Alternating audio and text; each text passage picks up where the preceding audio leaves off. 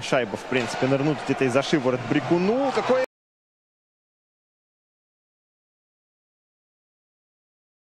рикошет!